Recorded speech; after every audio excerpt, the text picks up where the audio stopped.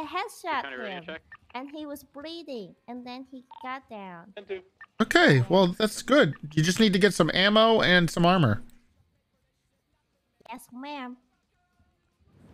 Yep, just uh, go grab that. I got a car out there. You can. Uh, I'll meet you out there. Okay.